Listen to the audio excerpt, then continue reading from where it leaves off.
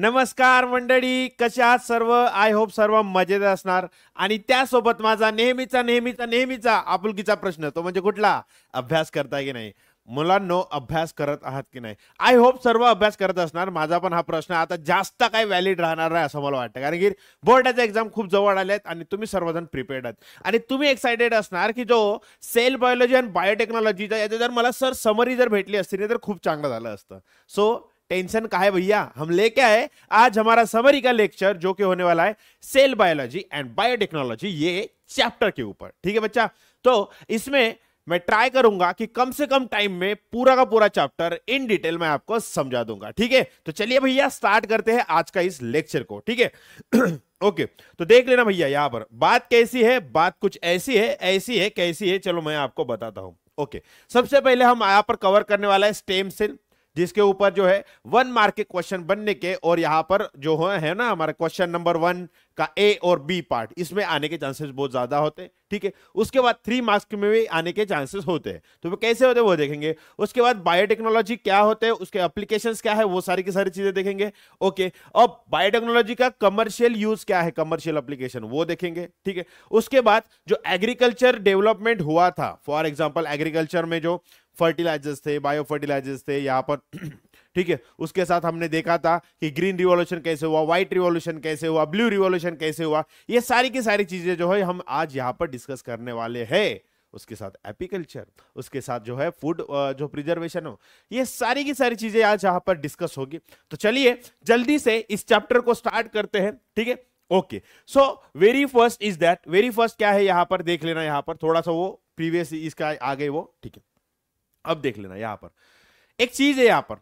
सबसे पहले यहाँ पर दिया गया है साइटोलॉजी अब साइटोलॉजी मतलब क्या होता है?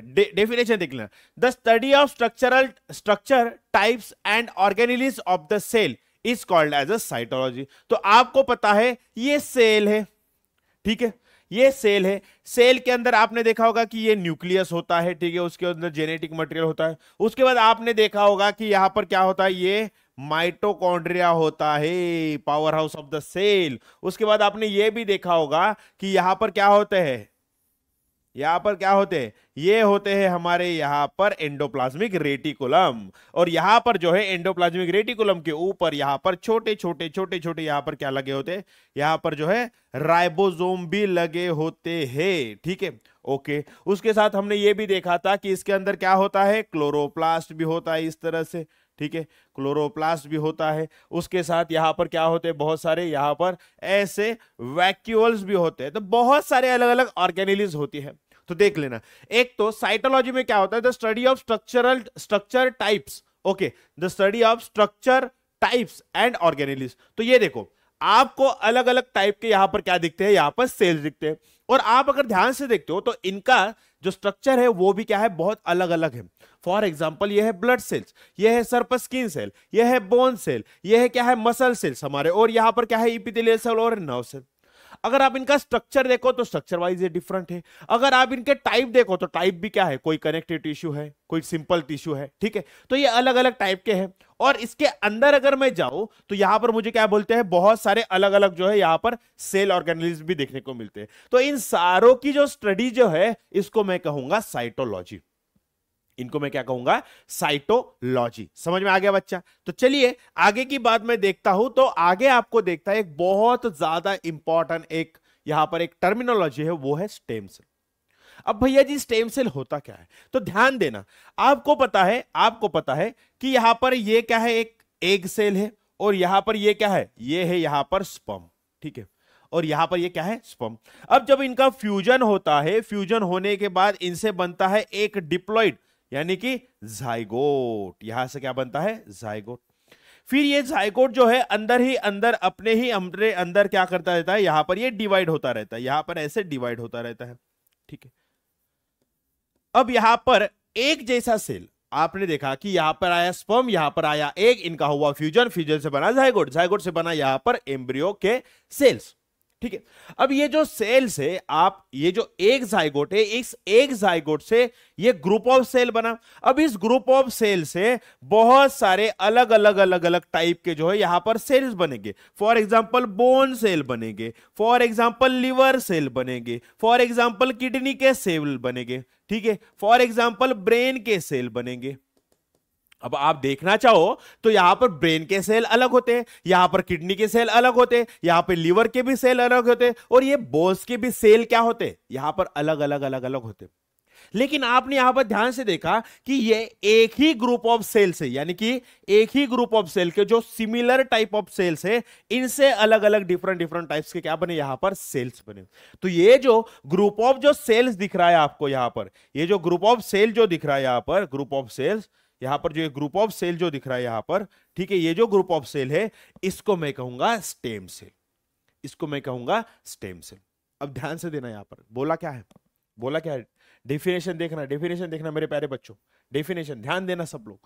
द सेल क्या? यहाँ पर मैंने सिलेक्ट कर लिया? हाँ। The cell which gives rise to the other type of cell is called as a stem cell the cell which gives rise to the other type of cell is called as a stem cell ठीक है? तो यहाँ पर देख लेना, ये stem cell है। इन stem cell से यहाँ पर क्या बन रहे ब्रेन यानी कि न्यूरॉन बन रहा है। यहाँ पर इपिथेलियल सेल से इंटेस्टाइन यहाँ पर हिपेटोसाइट से लीवर यहाँ पर कार्डियक से क्या बन रहा है? हार्ट सेल और यहाँ पर बोन से क्या बन रहा है? यहाँ पर बोन सेल बोन सेल से क्या बन है? यहाँ पर बोन्स बन रहे समझ में आ गया? तो ये जो ग्रुप ऑफ़ सेल है, या फिर सेल है, एक सेल से, एक सेल से मतलब समझ लो, ये एक सेल होगा, इस एक सेल से यहाँ पर क्या बने? बहुत सारे अलग अलग ऑर्गन्स बने। ठीक है? बहुत सारे अलग अलग यहाँ पर सेल्स बने। तो इसको मैं क्या कहूँगा? सेल कहूँगा। कौन से कहूँगा? स्टेम सेल कहूँगा। तर यांचे स्टेम सेलचे काय काय प्रॉपर्टी आहे for example these are primary type of undifferentiated cell undifferentiated म्हणजे काय? की बघा, आता लक्ष द्या लक्ष द्या लक्ष द्या. हा एक सेल आहे. या सेलनी एक टाईपचं लिव्हर सेल बनवलं. ठीक आहे. आता ह्या हा सेल काय करू शकतो? हा सेल जो आहे आपल्याला याच्यामध्ये काय करू शकतो? ब्रेन सेल पण बनवू शकतो. ब्रेन सेल्स पण बनवू शकतो. ठीक आहे? ओके हा ब्रेन सेल हा काय झाला? लिव्हर सेल ठीक आहे? ओके आता बघा. हा एक सेल जो स्टेम सेल आहे हा काय करतो? अलग अलग टाईपचे वेगवेगळ्या टाईपचे सेल्स बनवू शकतो. पण जर तुम्ही जर बघायला गेलं ब्रेन सेल पुढे जाऊन फक्त आणि फक्त ब्रेन सेल बनवतील. ते असं नाही होणार की ब्रेन सेल पासनं लिव्हर सेल बनणार हिपॅटोसाईट बनणार किंवा दुसऱ्या प्रकारचे सेल बनणार नाही. एक ब्रेन सेल परत पुढे जाऊन आता प्रत्येक टाइम म्हणजे काय करणार प्रत्येक वेळी तो ब्रेन सेलच बनवणार. लिव्हर सेल काय करणार? प्रत्येक वेळी आता पुढे जाऊन लिव्हर सेलच बनवणार. म्हणजे हा जो लिव्हर सेल आहे तो काय झाला? डिफरन्शिएटेड झाला. हा जाऊन फक्त आणि सेल बनवणार. पण स्टेम सेल आहे तो कसा आहे? अनडिफरन्शिएटेड अनडिफरन्शिएटेड तो कुठल्या पण टाईपचे करू शकणार? सेल बनवू शकणार. फॉर एक्झाम्पल तो ब्रेन बनवणार लिव्हर बनवणार तो काय बोन्स बनवणार. ठीक आहे? सो इस सेल को मैं कहूँगा, इस सेल को मैं कहूँगा अनडिफरेंशिएटेड सेल जो कंटिन्यूसली डिवाइड होते रहेंगे अलग अलग टाइप के क्या बनाते रहेंगे? सेल्स बनाते रहेंगे. सेल्फ मल्टीप्लाइंग एबिलिटी होती है इनके पास। क्या होती है? सेल्फ मल्टीप्लाई मतलब खुद के बाद ये मतलब खुद से ही क्या कर देंगे? ये डिवाइड करते रहेंगे डिवाइड करते रहेंगे, ठीक है? उसके बाद they are called as a parent cell parent cell क्यों? क्योंकि इससे ही अलग अलग टाइप्स के सेल निकलते हैं। इसलिए इनको कहा जाता है पेरेंट सेल उसके बाद दे आर प्लूरीपोटेंट प्लूरीपोटेंट मतलब क्या? एक जो सेल है, वो पूरा का पूरा क्या बना सकता है? यहाँ पर एक ऑर्गन बना सकता है। ठीक है, पूरा का पूरा क्या बन सकता है? यहाँ पर ऑर्गन बना सकता है। इसके वजह से मैं इसको कहूँगा प्लूरीपोटेंट या फिर पूरा का पूरा टिश्यू बना सकता है। तो इसको मैं कहूँगा प्लूरीपोटेंसी ठीक है? सेल के अंदर एक एबिलिटी होती है प्लूरीपोटेंसी ठीक है? तो ये हो गया स्टेम सेल के बारे में। अब अगर मैं ध्यान से देखूँ तो स्टेम सेल दो टाइप के होते हैं। एक होता है एम्ब्रियोनिक स्टेम सेल और दूसरा होता है adult stem cell embryonic stem cell और दूसरा होता है अडल्ट स्टेम सेल अब एम्ब्रियोनिक स्टेम सेल के बारे में ध्यान देता हूँ। एम्ब्रियोनिक स्टेम सेल कैसे होता है वो देखता हूँ। तो यहाँ पर है मेरे पास एग यहाँ पर है मेरे पास स्पर्म ठीक है? यहाँ पर है मेरे पास स्पर्म अब जब इनका फ्यूजन हुआ तो बना क्या? बना क्या? यहाँ पर बना जाइगोट अब ये जो झाइगोट है झाइगोट क्या करता है? डिवाइड होता है डिवाइड होता है डिवाइड होता है डिवाइड होता है डिवाइड होता है डिवाइड होता है डिवाइड होता है। अब ये जो ग्रुप ऑफ़ सेल है after fourteen day after fourteen day after fourteen day ये अलग अलग टाइप्स के सेल में क्या हो जाता है? डिवाइड हो जाने लगता है। मतलब ये डिफ्रेंशिएशन होने लगता है इनके अंदर। क्या होने लगता है? यहाँ पर मैंने क्या कहा था? यहाँ पर देखो। यहाँ पर मैंने क्या किया था? अनडिफ्रेंशिएटेड सेल होते कौन से? ये वाले। फिर इनके बाद अंदर क्या आने लगता है? इनके अंदर आने लगता है डिफ्रेंसिएशन डिफ्रेंसिएशन ठीक है। ये क्या हो सकता है? ये डिफ्रेंशिएटेड होने लगते हैं। ये क्या होने लगते हैं? ये डिफ्रेंशिएटेड होने लगते हैं अलग अलग सेल्स ठीक है। तो ये कब होता है? ये होता है fourteen death after after after fourteenth day मतलब ये जो जाइगोट का ये मतलब ये देखो, ये गैमिट्स का जब फ्यूजन हुआ, इसके चौदह दिन के बाद ये अलग अलग टाइप्स के सेल बनना स्टार्ट हो जाते हैं। तो मैं एम्ब्रियोनिक स्टेम सेल मतलब मैं क्या कर लूँगा? अगर मुझे एम्ब्रियोनिक स्टेम सेल चाहिए, अब स्टेम सेल से क्या होता है? ये अगर एक सेल में निकाल लूँगा, किसी टाइप मतलब ये क्या कर लूँगा मैं? प्रिजर्व कर लूँगा। इसको मैं क्या करूँगा? केमिकल में डाल के प्रिजर्व कर लूँगा। ठीक है? अब अगर समझो, अगर मैं अगर हूँ मेरे एम्ब्रियोनिक स्टेम सेल निकाल दिए। एम्ब्रियोनिक स्टेम सेल कब होते हैं? बिफोर फोर्टीन डे मतलब बास्टोसिस स्टेज में। ब्लास्टोसिस स्टेज होती है, एक डेवलपमेंट होती है, ठीक है? चौदह दिन के अगर पहले, चौदह दिन के अगर पहले मैं अगर इन इन ग्रुप ऑफ़ सेल में से कोई सेल्स निकाल कर मैं प्रिजर्व कर लेता हूँ, उसको मतलब क्या कर लूँगा? यहाँ पर प्रिजर्व कर लूँगा, ठीक है? तो जब कभी अगर समझ लो, मुझे फ्यूचर में समझ लो, मेरा हाथ कट गया। ऐसा होता तो नहीं, मैं बस बता रहा हूँ, समझ हाँ समझ लो। फॉर एग्ज़ाम्पल मेरी किडनी जो है फेल हो गई। तो मैं क्या करूँगा? ये जो मेरे स्टेम सेल प्रिजर्व करके रखे थे, मैं उनको केमिकल दूँगा, एक पर्टिकुलर केमिकल दूँगा। उसकी वजह से ये स्टेम सेल क्या करने लगेंगे? ये एम्ब्रियोनिक स्टेम सेल यहाँ पर बनाने लगेंगे किडनी फिर वो किडनी जब बन जाएगी, मैं वो किडनी लूँगा और मेरे मतलब बॉडी के अंदर उसको फिट कर दूँगा। तो इस तरह से ये एम्ब्रियोनिक स्टेम सेल को प्रिजर्व किया जाता है, उसको निकाला जाता है। तो मैं निकालूँगा कब? अब देखो आफ्टर फोर्टीन देर ये क्या हो रहा है? ये जो स्टेम सेल है, वो क्या हो रहे हैं? डिफ्रेंशिएट हो रहे मतलब पर्टिकुलर टाइप ऑफ़ सेल बना रहे तो मैं इनको निकालूँगा कब? मैं इनको सिंपली निकाल दूँगा कब? बेटा देखो यहाँ पर। कब निकाल दूँगा? यहाँ पर। Fifth to seventh day fifth to seven day पे मैं क्या कर लूँगा? इनको निकाल लूँगा और यहाँ पर मैं केमिकली मैं यहाँ को इनको प्रिजर्व करके रख पाऊँगा, ठीक है? तो जब कभी फ्यूचर में मुझे ज़रूरत पड़े, तब मैं इसको क्या कर लूँगा? यूटिलाइज कर लूँगा ओके तो अब ये जो है, देखो, एक सेल जो है, ये एक सेल क्या कर सकती है? 220 डिफरेंट टाइप्स के क्या कर सकती है? सेल्स बना सकती है। क्या कर सकती है? एक सेल अलग अलग 220 डिफरेंट डिफरेंट टाइप के सेल बना सकती है। ठीक है? तो मेरे पास अगर मैं एक सेल भी इसको प्रिजर्व करके रख देता हूँ तो क्या हो सकता है? अगर मुझे फ्यूचर में कुछ प्रॉब्लम आ जाए, किसी सेल में मुझे प्रॉब्लम आए बाय तो मैं इन सेल का इस्तेमाल करके अलग अलग टाइप्स के मैं सेल बना सकता हूँ। फॉर एग्ज़ाम्पल मैं ऑस्टियोसाइट मतलब बोन सेल बना सकता हूँ हिपेटोसाइट मतलब लिवर सेल बना सकता हूँ न्यूरॉन्स बना सकता हूँ। ठीक है ना? तो ये होगा हमारा एम्ब्रियोनिक स्टेम सेल। कब निकालेंगे? फिफ्थ टू सेवन डे में निकालेंगे। कब? जब ये हमारा जायगोट बना, उसके फिफ्थ टू सेवन डे बाद में क्या कर लूँगा? ये ग्रुप ऑफ़ सेल में से एक सेल निकाल लूँगा। क्यों? क्योंकि आफ्टर फोर्टीन डे क्या होने लगा है? ये जो सेल्स है, वो डिफ्रेंशिएट होने लगेंगे। अलग अलग टाइप्स के सेल में कन्वर्ट होने लगेंगे। तो उसके पहले मैं अगर निकाल लेता हूँ तो एक सेल अगर भी मैं निकाल लेता हूँ तो भी क्या होता?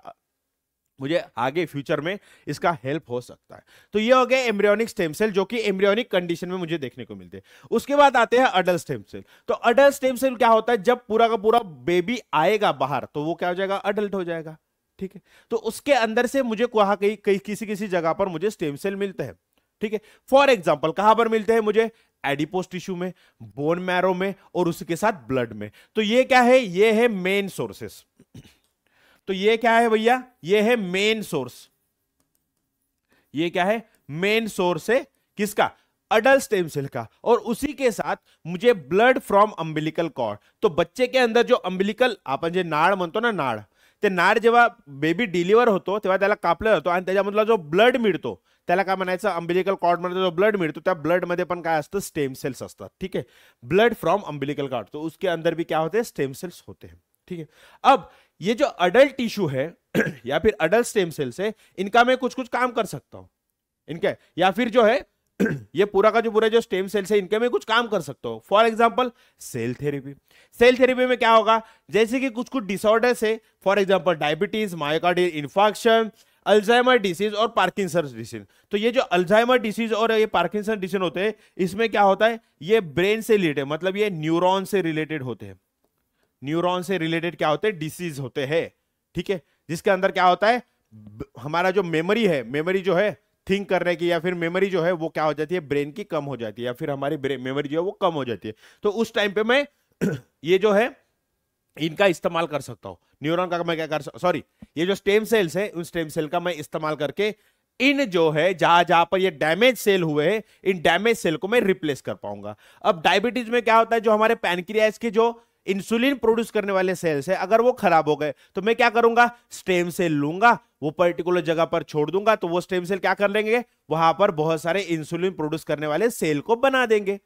ठीक है? तो डैमेज हुआ, जो पार्ट है, वो क्या हो जाएगा? रिकवर हो जाएगा। मायोकार्डियल इंफेक्शन में क्या होता है कि जो हमारे मसल्स होते हैं हार्ट के मसल वो डैमेज हो जाते हैं। तो मैं क्या करूँगा? सिंपली वो स्टेम सेल को वहाँ पर भेज दूँगा तो वो स्टेम सेल क्या कर लेंगे? वहाँ पर जो है मसल सेल्स बनाना स्टार्ट कर देंगे। इस तरह से हो जाएगा, ठीक है। उसके बाद organ transplantation for example liver kidney ये ऑर्गन में क्या कर सकता हूँ? स्टेम सेल के हेल्प से मैं बना सकता हूँ, ठीक है। स्टेम सेल के हेल्प से मैं क्या कर सकता हूँ? इनको बना सकता हूँ। तो इस तरह से यूजेस होते हैं, ठीक है, इनके। ओके चलो भैया, आगे देखते हैं देख लेना, ये किस तरह से स्टेम सेल होते हैं। एम्ब्रियोनिक स्टेम सेल देखना है यहाँ पर। क्या दिख रहे हैं मुझे यहाँ पर? यहाँ पर फर्टिलाइजेशन होगा इन विट्रो फर्टिलाइजेशन हो गया, ठीक है? इन विट्रो मतलब बॉडी के बाहर मैंने फर्टिलाइजेशन कर लिया, फिर ये वहाँ पर मेरे क्या बना? एट सेल स्टेज बना, ठीक है? यहाँ पर फिर ब्लास्टोसिस बना। तो ये हो गए हमारे यहाँ पर स्टेम सेल तो इसमें से क्या कर लिया? मैंने कुछ पोर्शन जो है यहाँ पर मैंने रख लिया बाजू में पेट्री प्लेट में, और इसको प्रिजर्व करके रख दिया, और बाकी का जो है यहाँ पर मैंने फेंक दिया फिर रख लिया। ओके फिर ये जो मैंने प्रिजर्व करके रखा था स्टेम सेल इससे मैं अलग अलग टाइप के क्या करूँगा? अलग अलग टाइप के यहाँ पर सेल बना सकता हूँ इन फ्यूचर ठीक है? वहाँ पर देखो, ये डायग्राम बहुत इंपॉर्टेंट है। इसका नाम क्या है? स्टेम सेल थेरेपी बस ये डायग्राम के ऊपर आ सकता है कि आइडेंटिफाइड डायग्राम तो ये क्या है? स्टेम सेल थेरेपी ये एक सेल है, ठीक है? ये एक सेल है तो ये क्या करेंगे? कुछ सेल जो है ऐसे के वैसे ही रहेंगे। कुछ सेल ऐसे के वैसे रहेंगे कि वो क्या होता रहेंगे, वो डिफरेंशिएट नहीं वो अनडिफरेंशिएट और कुछ सेल जो है अलग अलग टाइप्स के सेल में क्या हो जाएगा differentiate can be transformed into other types of cell और ये क्या है? Can replicate them cell can replicate मतलब एक जैसे ये बनाते रहेंगे बनाते रहेंगे बनाते रहेंगे। स्टेम सेल ही स्टेम सेल ही बनाते रहेंगे और कुछ कुछ सेल्स क्या हो जाएगा? यहाँ पर डिफरेंशिएट हम कर सकते हैं इनको, ठीक है? तो यहाँ पर होता है स्टेम सेल थेरेपी यहाँ पर जो दिखा था ना हमने सेल थेरेपी तो यहाँ पर होता है स्टेम सेल थेरेपी इस तरह से काम करना स्टार्ट करते हैं, ठीक है बच्चा? ओके उसके बाद आता है ऑर्गन डोनेशन और ऑर्गन ट्रांसप्लांटेशन तो कौन से कौन से हम ट्रांसप्लांट करते हैं? जनरली हम ट्रांसप्लांट कौन से करते हैं? ऑर्गन ट्रांसप्लांटेशन में कौन से ऑर्गन होते हैं? फॉर एग्ज़ाम्पल हमारी होती है किडनी फॉर एग्ज़ाम्पल हमारी होती है किडनी। फॉर एग्ज़ाम्पल हमारे होते हैं लीवर। तो ये ऑर्गन हम क्या कर सकते हैं? ये जो है, हम ट्रांसप्लांट करते हैं जनरली ट्रांसप्लांट करते हैं, ठीक है? आइज़ भी ट्रांसप्लांट करते अलग अलग ऑर्गन होते हैं, देखो जनरली ट्रांसप्लांट कुछ होते हैं आइज़ है हार्ट है pancreas kidney skin bone liver lungs तो ये क्या होते हैं? सारे के सारे हम डोनेट कर सकते हैं और हम इसको ट्रांसप्लांट भी कर सकते हैं। ट्रांसप्लांट मतलब क्या? किसी दूसरे का निकालकर मेरे अंदर इसको लगाते रहा मतलब क्या हो गया? ट्रांसप्लांटेशन ठीक? तो बॉनेट बॉडी डोनेट क्यों करते हैं? जो मेडिकल स्टूडेंट होते हैं, उनके स्टडी के लिए भी है, जो बॉडी को है डोनेट करते हैं लोग। ठीक है? आफ्टर पोस्टुमस पोस्टुमस मतलब क्या? आफ्टर डेथ लोग क्या करते हैं बॉडी को डोनेट कर दे ताकि लोगों को पढ़ाई करने के लिए अच्छी जा सके, ठीक है? हमारे ऊपर वो पढ़ाई कर सके, ठीक है? तो ये हो गया, छोटा सा टॉपिक दिया है ऑर्गन ट्रांसप्लांटेशन ठीक है? ऑर्गन ट्रांसप्लांटेशन और ऑर्गन डोनेशन में, ठीक है? तो इस तरह से ऑर्गन ट्रांसप्लांटेशन ऑर्गन डोनेशन क्यों होता है? ऑर्गन ट्रांसप्लांट या फिर डोनेट करने की ज़रूरत क्यों पड़ती है? Due to ageing due to accidental ठीक है? तो हम क्या कर सकते हैं? एक्सीडेंटल या फिर एजिंग इसके वजह से क्या होते हैं? हमारे ऑर्गन डैमेज हो सकते हैं। उस टाइम पे क्या लगेंगे? हम स्मूथ लाइफ जीने के लिए, आगे की लाइफ स्मूथली जीने के लिए ये ऑर्गन ट्रांसप्लांट या फिर ट्रांसप्लांट करते हैं, ठीक है? अगर हम बर, मर गए तो उसके बाद हम क्या करेंगे? पूरी की पूरी बॉडी जो है डोनेट करें। तो डोनेशन में ये सारे के सारे हम ऑर्गन जो है यहाँ पर डोनेट कर सकते हैं। ठीक है बच्चा लोग? ओके इतनी बात सबको समझ गई बोलो भाई हाँ या ना? चलो तो उसके बाद एक टॉपिक आता है वो होता है हमारा बायोटेक्नोलॉजी तो बायोटेक्नोलॉजी मतलब क्या होता है? बायो का मतलब क्या होता है भैया? बायो का मतलब होता है लिविंग तो लिविंग थिंग्स में कुछ ना कुछ तो भी टेक्नोलॉजी अप्लीकेशन अप्लाई करके टेक्नोलॉजी के कुछ कुछ एप्लीकेशन अप्लाई करके हम क्या करेंगे? एक कुछ ना कुछ तो भी एक बहुत सही सी चीज़ यहाँ पर इन्वेंट करेंगे। तो इसको मैं कहूँगा बायोटेक्नोलॉजी बायोटेक्नोलॉजी मतलब क्या होता है? Artificial genetic changes genetic changes मतलब पूरा का पूरा जीन जो है यहाँ पर कुछ ना कुछ उसके अंदर गड़बड़ी मचा देना, या फिर कुछ ना कुछ तो भी उसके चेंज कर देना, या फिर हाइब्रिडाइजेशन अब हाइब्रिडाइजेशन मतलब क्या होता है? देखो भैया, यहाँ पर ये है, यहाँ पर ये क्या है? अपन काय म्हणतो मक्का म्हणतो ठीक है, कि याला काय म्हणतो अपन कंस तो बराबर है। कौन? तो यहाँ पर एक कौन है जिसकी हाइट बहुत छोटी है, या फिर उसकी लेंथ जो है उस कॉर्न की बहुत छोटी है, लेकिन इसके अंदर आप अगर दाने देखोगे तो यहाँ पर सीड्स क्या है? बहुत ज़्यादा है। डेंसिटी क्या है? सीड्स की बहुत ज़्यादा है। लेकिन इसकी जो लेंथ है वो क्या है? कम है। ऑन दी अदर साइड दूसरा अगर यहाँ पर आप कौन देखोगे तो आपको क्या दिखता है? यहाँ पर ये जो कौन है, इसकी लंबाई बहुत ज़्यादा है, लेकिन इसके ऊपर जो दाने हैं तो वो बहुत कम है। तो मैं कुछ ऐसा चेंजेस कर देता हूँ, जिसके वजह से इसके जो डेंस सीड का जो कैरेक्टर है, इसके अंदर आ जाए, और इसकी जो लेंथ है इसका कैरेक्टर इसके अंदर आ जाए। तो मुझे जो यहाँ पर प्रोडक्ट मिला तो ये जो कौन मिला, इसके यहाँ पर क्या मिला? इसकी लेंथ भी बहुत ज़्यादा थी और उसके साथ इसकी जो सीट की जो डेंसिटी वो सीट की डेंसिटी भी क्या है जी? बहुत ज़्यादा थी। ये क्यों पॉसिबल हुआ? ये पॉसिबल हुआ यहाँ पर क्या? हाइब्रिडाइजेशन की वजह से, जो कि है बायोटेक्नोलॉजी का एक पार्ट समझ में आ गया? तो देखा क्या यहाँ पर? Artificial genetic changes and hybridisation in the organism for human welfare human welfare मतलब क्या? हम ह्यूमंस के अच्छाई के लिए। अब देखो यहाँ पर अच्छाई होगी फार्मर को अच्छा क्या मिलेगा? यहाँ पर पैसे मिलेगा और हमें अच्छा अच्छा यहाँ पर कौन खाने के मिलेगा? ठीक है। Is called as a biotechnology. Is called as a biotechnology. Okay. Various branches of science like cytology, biochemistry, molecular biology and genetic engineers are included in the biotechnology तो ये अलग अलग फ़ील्ड जो है ये बायोटेक्नोलॉजी के अंडर आते हैं। अब बायोटेक्नोलॉजी का यूजेस क्या है? वो देखने ना improving the agriculture yield agriculture yield मतलब पहले समझ लो, एक एकड़ खेती थी, उसके अंदर मुझे क्या मिलते थे? हंड्रेड यहाँ पर क्या मिलते थे?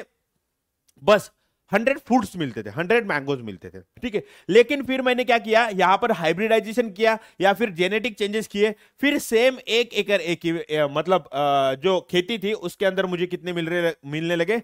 500 यहाँ पर आम मिलने लगे 500 आम मिलने लगे। तो यहाँ पर क्या हुआ? इंप्रूविंग एग्रीकल्चर इल्ड मतलब जो खेती बाड़ी है, उसके अंदर इंप्रूवमेंट हुई। वहाँ पर मुझे क्वांटिटी ज़्यादा मिलने लगी, ठीक है? उसके बाद production of antibodies and vitamin तो ये भी किसके अंडर आता है? ये भी आता है हमारे बायोटेक्नोलॉजी के अंदर। कैसे आता है? मैं आपको बताऊँगा, ठीक है? मैं आपको बताऊँगा इसके आगे। ओके उसके बाद मुझे क्या देखने को मिलता है? Production of hormones like insulin तो ये इंसुलिन किस तरह से बनाई जाती है? पहले घोड़े के हेल्प से बनाई जाती थी। लेकिन अब वो घोड़े का जो मतलब जो है यूज़ अभी बंद कर दिया। अब बैक्टीरिया का यूज़ होता है? अब बैक्टीरिया का यूज़ भी क्यों हुआ? ड्यू टू बायोटेक्नोलॉजी ठीक है? ओके उसके बाद development of high class variety of the plants through the techniques of the tissue culture तो अच्छे अच्छे वेराइटीज और उस प्लांट के अंदर एक एबिलिटी होती है कि वो डिज़ीज़ यानी कि पेस्ट के अगेंस्ट वो काम करे।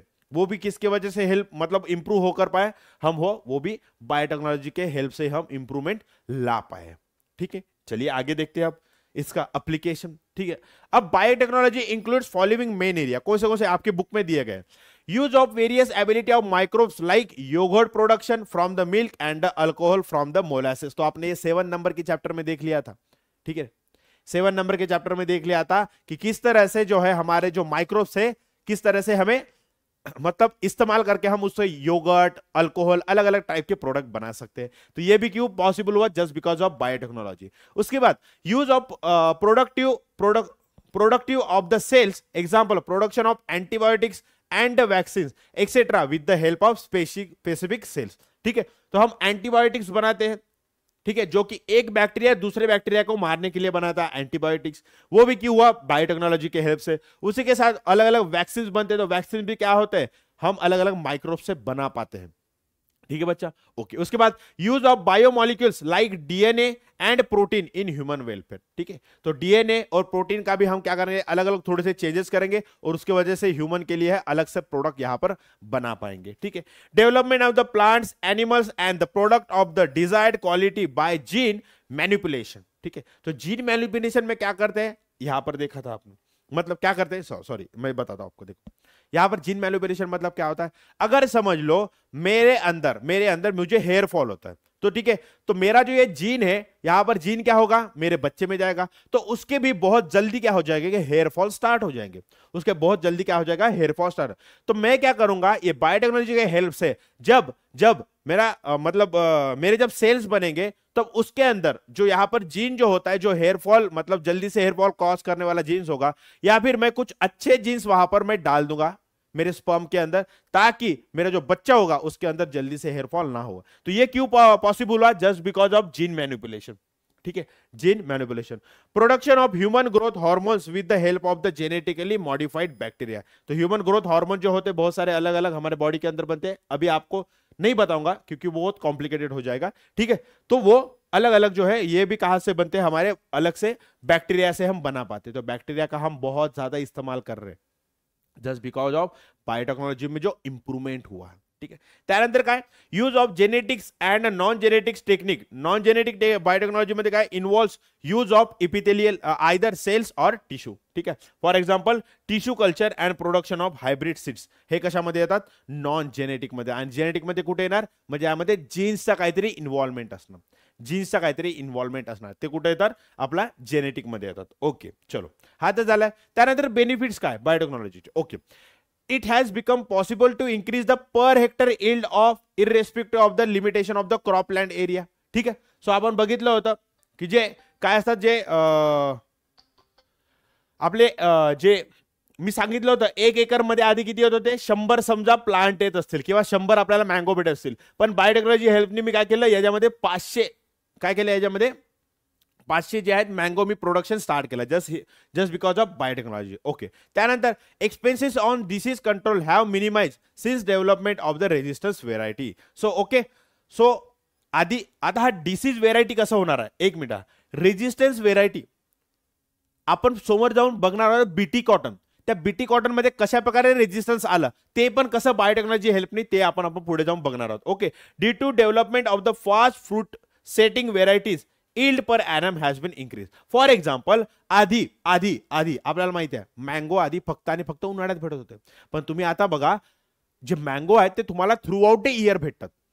ठीक है पूर्ण वर्षभर आपको आ, मतलब क्या मिलेगा? यहाँ पर मैंगो मिलते होते. फुल फुल मतलब ईयर ठीक है? ये क्यों पॉसिबल हुआ? जस्ट बिकॉज़ ऑफ़ बायोटेक्नोलॉजी क्योंकि हमने कुछ कुछ उनकी जो सेटिंग यहाँ पर बोला गया है जो फास्ट फ्रूट सेटिंग वेराइटी मतलब क्या होता है? कि पहले आम आने में पूरे के पूरे पाँच छह महीने चले जाते थे। ठीक है आम एक आम आने में पाँच छह महीने। या फिर समझ लो कोई एक अगर अगर फ्रूट आता है तो उसको आने में पूरा पाँच छह महीने जा रहे हैं तो मैंने कुछ तो भी उसके अंदर जीन्स के चेंजेस कर दिए जिसके वजह से वो जो फ्रूट है स, मतलब एक ही महीने में पूरा पक जाए। एक ही महीने में आए और पूरा का वो पक जाए। तो मुझे बताओ उसकी जो टाइमिंग है फ्रूट सेटिंग की वो क्या होगी? कम होगी। उसके साथ उसका प्रोडक्शन क्या हो जाएगा? बढ़ जाएगा। ठीक है बच्चा? उसके बाद development of stress resistance variety which can withstand withstand variable temperature water stress changing fertility of the soil etcetera has been possible ठीक है? तो अगर बारिश आए या ना आए, फिर भी थोड़े से कम पानी में भी क्या कर सकता है वो, जो है हमारा पूरा का पूरा प्लांट ग्रो हो सकता है। ये पॉसिबल क्यों हुआ? जस्ट बिकॉज़ ऑफ़ बायोटेक्नोलॉजी ठीक है? चला आता बघूया त्याच्या बायोटेक्नॉलॉजीमध्ये त्यामध्ये तुम्हाला दिला आहे कमर्शियल मध्ये क्रॉप बायोटेक्नॉलॉजी ठीक आहे? क्रॉप बायोटेक्नॉलॉजी म्हणजे काय? क्रॉपच्या अंदर मी काहीतरी मॉडिफिकेशन करणार, जेणेकरून काय होणार? त्याच्यामध्ये त्या म्हणजे क्रॉपची प्रोडक्टिव्हिटी वाढणार किंवा त्याचा रेजिस्टन्स वाढणार. Okay biotechnology is use in the agriculture field to improving the yield and varieties तो यहाँ पर दो टाइप्स के क्रॉप बायोटेक्नोलॉजी है। एक है हाइब्रिड सीड अब हाइब्रिड सीड में क्या होता है? समझ लो. फॉर एग्ज़ाम्पल मेरा ये ए प्लांट है और यहाँ पर मेरा क्या है? बी प्लांट है.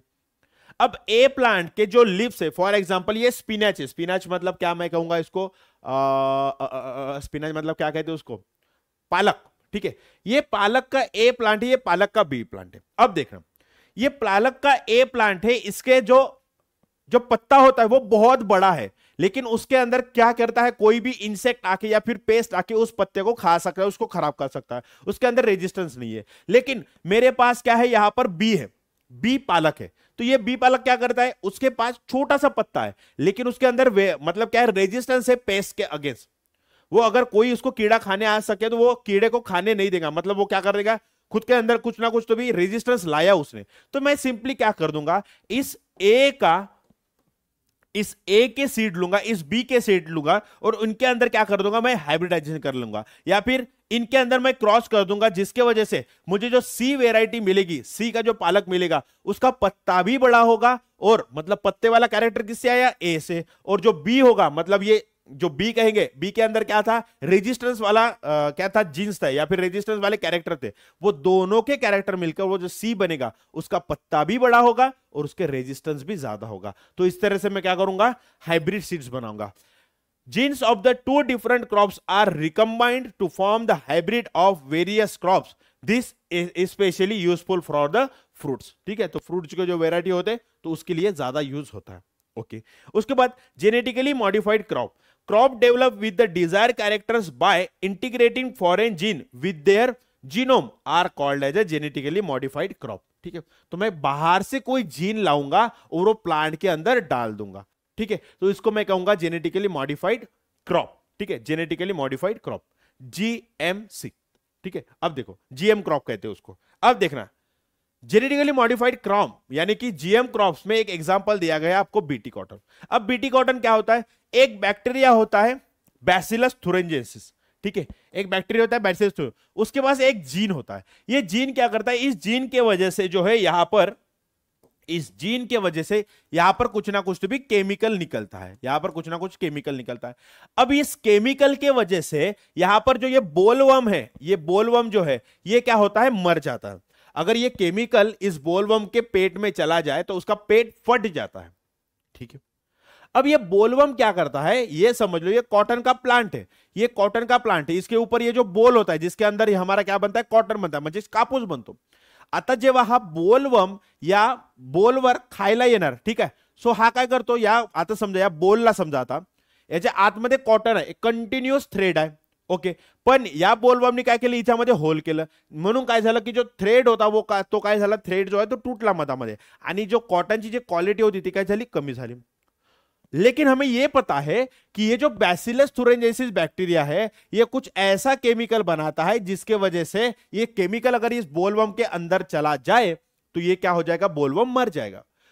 तो ये जो केमिकल बन रहा है, ये जो टॉक्सिन बन रहा है तो वो टॉक्सिन बन किसके रहा किसके वजह से रहा है? यहाँ पर यहाँ पर ये जीन है।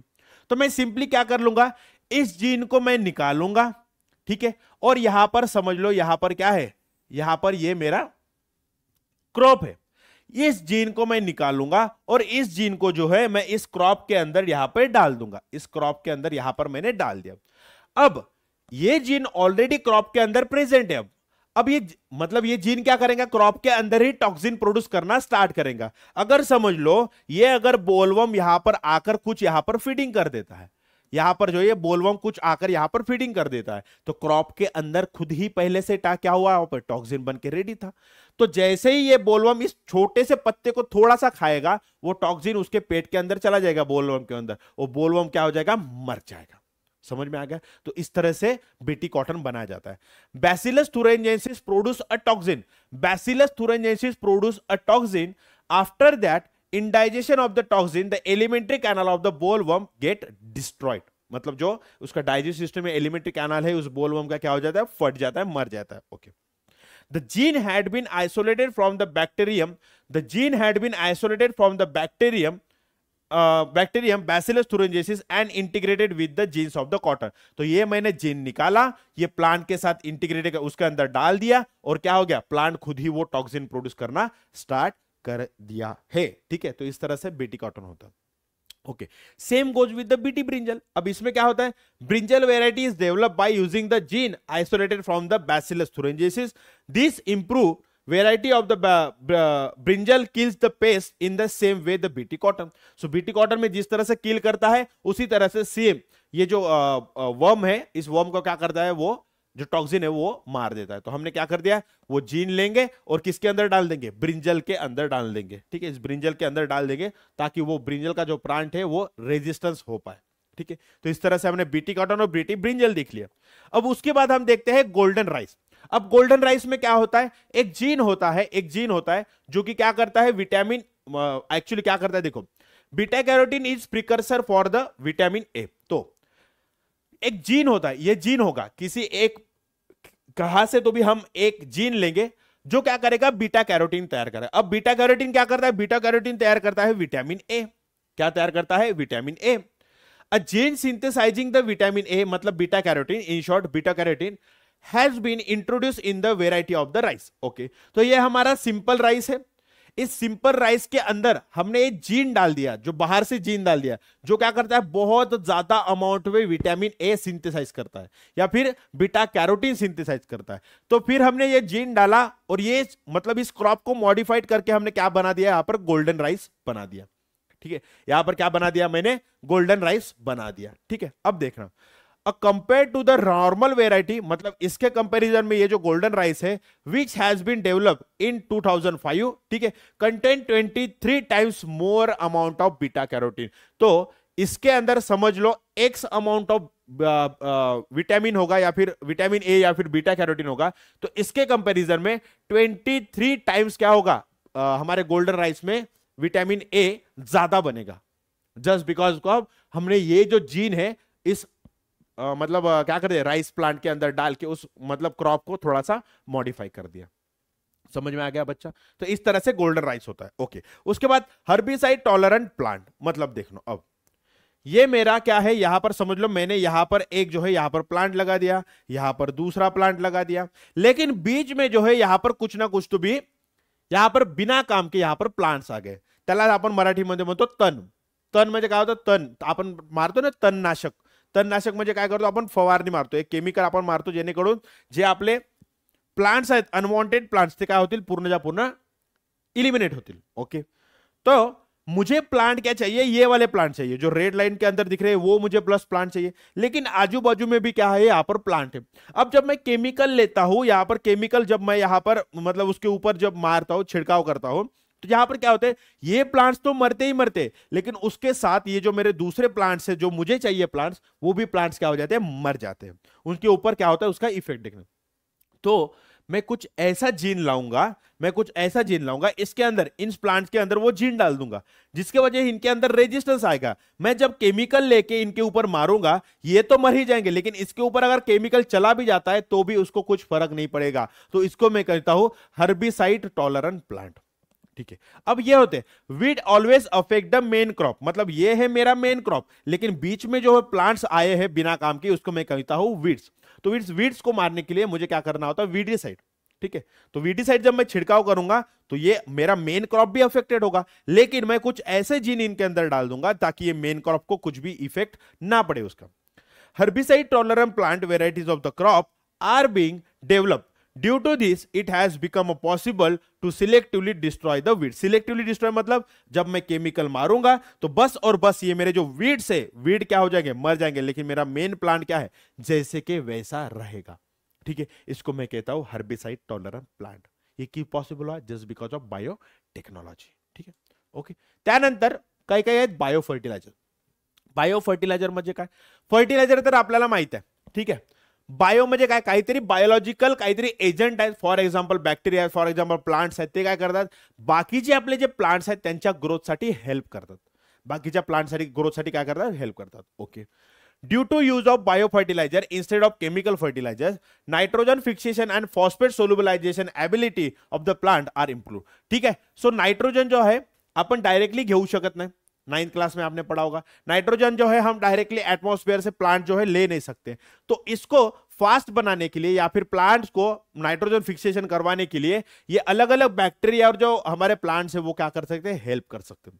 उसके साथ हम जो फॉस्फेट हमारे जो प्लांट ज़मीन से जो फॉस्फेट लेते हैं, उसको फास्ट करने के लिए, उसको मतलब जल्दी से फॉस्फेट लेने के लिए ये जो हमारे बैक्टीरिया और जो हमारे प्लांट्स है, वो क्या कर सकते हैं? हेल्प कर सकते हैं। तो इनको ही मैं कहता हूँ बायो फर्टिलाइजर्स ठीक है? ओके आर इंप्रूव ओके तो बैक्टीरियल कुछ कुछ बैक्टीरियल बायोफर्टिलाइजर दिए गए। For example Rhizobium Azotobacter Nostoc और एनाबिना और उसी के साथ जो हमारा ये अजोला है, ये क्या है? प्लांट है। तो ये अजोला होता है और राइजोबियम देखो, जो हमारे लेग्युमिनस प्लांट होते ज्याला शेंगा येतात त्या प्लांटच्या रूटवर अशा प्रकारे इथं नो नोड्यूल्स बनवतात. काय बनवतात? याच्यामध्ये अशा प्रकारे नोड्यूल्स बनवतात.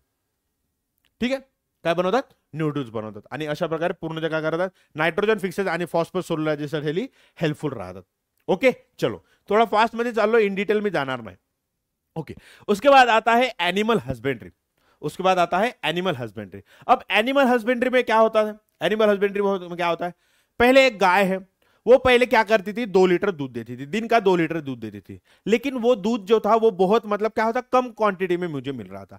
तो मैंने कुछ ऐसा वहाँ पर जेनेटिक चेंजेस कर दिए उनके अंदर, या फिर ऐसे कुछ तो भी उसके अंदर स्पर्म डाल दिए तो जो उसके जो होने वाला बच्चा है, होने वाला जो बच्चा है, वो अब दो लीटर दूध नहीं देगा, होने वाली मतलब गाय और गाय का जो बच्चा होगा, जो उसकी सेकंड गाय आएगी तो उसको वो बस दो लीटर दूध नहीं देगी, वो कितना देगी? पाँच से छह लीटर दूध देगी।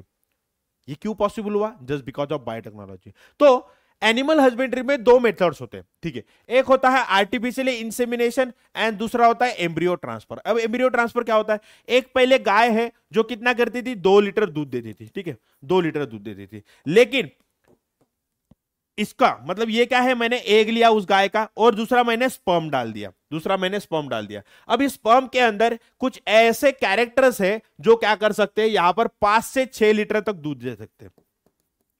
पाँच से छह लीटर तक दूध देने वाले कैरेक्टर्स के अंदर है। तो मैंने क्या कर दिया? सिंपली इस गाय का एग लिया। ठीक है? ये स्पर्म लिया और मैंने क्या बना दिया? झाइकोट बनाया। अब झाइकोट जो बनेगा तो उसके अंदर कैरेक्टर कौन सा आया? पाँच से छह लीटर दूध देने वाला कैरेक्टर इसके अंदर आ गया। फिर इस झाइकोट को मैं लूँगा और क्या करूँगा? यहाँ पर जो है, इस गाय के अंदर डाल दूँगा। इस तरह से जो है यहाँ पर गाय के जो यूटरस होता है उसके अंदर मैं उसको डाल दूँगा। तो इसको मैं क्या करता हूँ? इसको मैं कहता हूँ एम्ब्रियो ट्रांसफ़र। तो ये जायगोट जायगोट आगे सेल बनाएगा, ठीक है? एम्ब्रियो बनाएगा। उस एम्ब्रियो को मैं क्या कर दूँगा? यहाँ पर डाल दूँगा। इसको मैं कहूँगा एम्ब्रियो ट्रांसफ़र। अब आर्टिफिशियल इंसेमिनेशन क्या होता है? ये जो स्पर्म है, मैं स्पर्म लूँगा और सीधा का सीधा जो है गाय के मतलब जो है यूटरस के अंदर मैं डाल दूँगा। तो उसको मैं कहूँगा आर्टिफिशियल इंसेमिनेशन ठीक है? Artificial insemination okay it helps to improve both the quality and quantity of the animal product मतलब जो मिल्क होता है, जो मीट होता है, ठीक है वूल जो होता है, उसकी क्वालिटी और क्वांटिटी क्या करेगा? वो बढ़ाएगा, ठीक है? एनिमल हस्बेंड्री में बायोटेक्नोलॉजी का इस तरह से इस्तेमाल होता है। उसके बाद ह्यूमन हेल्थ में किस तरह से इस्तेमाल होगा? देखो diagnosis and the treatment of the disease are two important aspect of the human health management ठीक है? ह्यूमन हेल्थ को पूरा, पूरी तरह से मैनेज करने के लिए दो एस्पेक्ट होते हैं, दो मेन स्टेप्स होते हैं। एक तो डायग्नोसिस उसके बाद ट्रीटमेंट मतलब एक तो पहले जो डिसीज है, उसको पहचानना, उसके बाद उसके ऊपर अच्छे से ट्रीटमेंट करना। ये दो चीज़ें होती है, ठीक है?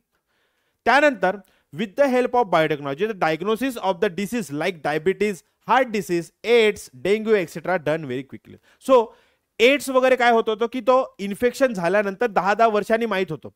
ठीक आहे? पण आता बायोटेक्नॉलॉजीमध्ये एवढं इम्प्रुव्हमेंट आलाय की एड्स जर कुणा व्यक्तीला जर झाला असेल तर आपल्याला सहा ते सात महिन्यामध्ये पटकन त्याच्या प्री डायग्नोसिस आपल्याला माहीत होतं. ठीक आहे? त्याला आपण थोडाफार माहीत करू शकतो की बाबा याचा इन्फेक्शन झालाय की नाही. त्या प्रकारे आपल्याला डायबिटीज़ कधी, किती होणार आहे, काय होणार आहे, ते पण आपण काय करू शकतो, लवकरात लवकर फाइंड आउट करू शकतो just because of biotechnology various medicines are use for the treatment of the diabetes एक्झा disease example hormones insulin is use in the treatment of the diabetes तो एक मार्क के लिए यहाँ पर क्वेश्चन बन सकता है। देखो, जो हमारा हार्मोन होता है इंसुलिन ये किसके अगेंस्ट काम करता है? ये होता है डायबिटीज़ में हमें यूजफुल होता है। अब किस तरह से यूजफुल होगा? तो पहले पहले जो था हार्मोन जो था इंसुलिन पहले घोड़े के अंदर का जो इंसुलिन बनता था, उसको लेकर हम क्या करते थे? ह्यूमन के अंदर डालते थे। लेकिन ह्यूमन का जो इंसुलिन है और घोड़े का जो इंसुलिन है, वो क्या है? उसमें थोड़ा सा, क्या है? उसमें थोड़ा सा डिफरेंस है। इसके वजह से जो घोड़े से हमने इंसुलिन लिया और ह्यूमन के अंदर डाला, वो इतना इफिशियंट अमाउंट में काम नहीं करता था। ठीक है? तो मैंने फिर क्या किया? ह्यूमन के अंदर ह्यूमन के अंदर, समझ लो ये जीन है। ये जीन क्या कर रहा है? ये इंसुलिन बना रहा है। ये इंसुलिन बना रहा है, ठीक है? इंसुलिन बना रहा है। ह्यूमन के अंदर से ये जीन लिया मैंने, ठीक है? ये मैंने बैक्टीरिया का जीन लिया। ये बैक्टीरिया का जीन है। फिर मैंने क्या कर दिया? मैंने कुछ तो भी बायोटेक्नोलॉजी के हेल्प से बायोटेक्नोलॉजी के हेल्प से ये जो जीन है ह्यूमन के अंदर इंसुलिन प्रोड्यूस करने वाला जीन, ये जीन और ये जो हमारा बैक्टीरिया का जीन है, इसको मैं क्या कर दिया? मैंने इंटीग्रेट कर दिया। इसको मैंने जोड़ दिया। फिर ये जो जीन है, मैंने क्या कर दिया पूरा का पूरा जो जीनोम है बैक्टीरिया का, उसके अंदर मैंने बैक्टीरिया के अंदर ट्रांसफ़र कर दिया। फिर फिर फिर ये सारी की सारी चीज़ें हो रही है बैक्टीरिया के अंदर। यहाँ पर ये बैक्टीरिया है। अब ये बैक्टीरिया क्या करेगा? ये जीन उसके अंदर चला गया तो ये जीन क्या करेगा? यहाँ पर बहुत सारा वो इंसुलिन प्रोड्यूस करने लगेगा। और आजू बाजू में, और आजू बाजू में क्या मिलेगा मुझे? आजू बाजू में यहाँ पर जो है, मुझे यहाँ पर बहुत सारा इंसुलिन मिल जाएगा। यहाँ पर मुझे क्या मिल जाएगा? बहुत सारा इंसुलिन मिल जाएगा। फिर यही इंसुलिन मैं लूँगा और क्या करूँगा? ह्यूमन के अंदर में डाल दूँगा। तो मुझे क्या मिला? ह्यूमन का जो इंसुलिन प्योर इंसुलिन मुझे यहाँ पर मिल गया। तो ये क्यों पॉसिबल हुआ? इंटीग्रेट कैसे कर पाए हम? बायोटेक्नोलॉजी के हेल्प से। Okay with the help of biotechnology insulin can be prepared with the help of bacteria तो देखो बैक्टीरिया के हेल्प से हमने क्या कर दिया? यहाँ पर इंसुलिन बना दिया है। ठीक है बच्चा? चलिए। आगे देखते हैं अभी। आगे देखते हैं। आगे क्या है? आगे क्या है? Vaccine and vaccination vaccine and vaccination vaccine is the antigen containing material given to acquire either permanent और temporary immunity against a specific pathogen और डिसीज तो अभी आपने देखा होगा रिसेंटली कोविड गया, ठीक है? कोविड के अंदर इम्यूनिटी इम्यूनिटी इम्यूनिटी कुछ तो भी वर्ड यूज़ गया। जिसकी इम्यूनिटी कम, उसको जल्दी कोविड हो गया। जिसकी इम्यूनिटी स्ट्रांग उसको मतलब कोविड हुआ ही नहीं। या फिर हुआ तो भी वो जल्दी से क्या हो गया ट्रीट हो गया। जल्दी से वो निकल गया बॉडी के बाहर। तो ये क्यों हुआ? इम्यूनिटी के अंदर। ठीक है? अब हमारे बॉडी के अंदर क्या है? एक पुलिस की पूरी फोर्स बैठी है। ठीक है? वो पुलिस फोर्स क्या करती है? बाहर से आने वाले हार्मफुल पैथोजन को मतलब जो कि बाहर से बैक्टीरिया वायरस आएँगे, ठीक है? फंगी आएँगे, उसको मारने के लिए वहाँ पे पहले ही डंडा लेके खड़े होते हैं। तो उसको मैं कहूँगा इम्यूनिटी तो अब ये वैक्सीन क्या करते हैं? अब देखो, समझ लो। ये कोरोना का वायरस है। इस कोरोना के वायरस के ऊपर आपको यहाँ पर ये कुछ तो भी यहाँ पर ऐसे डंडे डंडे डंडे डंडे दिख रहे होंगे। तो ये डंडे क्या है? इस डंडे नथिंग बट द ये होते हैं एंटीजेन ये क्या होता है? ये होते हैं एंटीजेन अब हमारी बॉडी जो है, इस एंटीजेन को पहचान कर ही क्या बताती है कि ये जो है कोरोना का वायरस है। तो इसको मारने के लिए अलग से पुलिस फोर्स भेजो। अब मैं क्या करूँगा वायरस? मतलब वैक्सीन में क्या करूँगा? मुझे पता है कि बस ये वाले डंडों से जो है, ये जो एंटीजन है एंटीजन के वजह से ही क्या होता है, ये जो पैथोजन या फिर जो वायरस है, ये पता चलता है कि ये कोरोना का वायरस है। तो मैं सिंपली क्या कर लूँगा? इन एंटीजन को निकालूँगा, ठीक है? इन एंटीजन को निकालूँगा, ये फिर या फिर ये एंटीजन बनाने वाले जीन्स को निकालूँगा, उसको मैं फिर से बहुत सारे एंटीजन बनाऊँगा और एंटीजन में बस क्या कर दूँगा? मेरे बॉडी के अंदर डाल दूँगा। अब अब क्या करेगी? मेरी बॉडी जी, ये जो एंटीजन है, उसको पहचान लेगी और पहले से जो है, यहाँ पर सेल को तैयार करके रखेंगी कि इस तरह से क्या होता है? यहाँ पर जो है कोरोना का वायरस आ सकता है। हमारे बॉडी के अंदर कोरोना का वायरस आ गया। तो हमारी बॉडी क्या हो जाएगी? पूरी की पूरी तैयार हो जाएगी।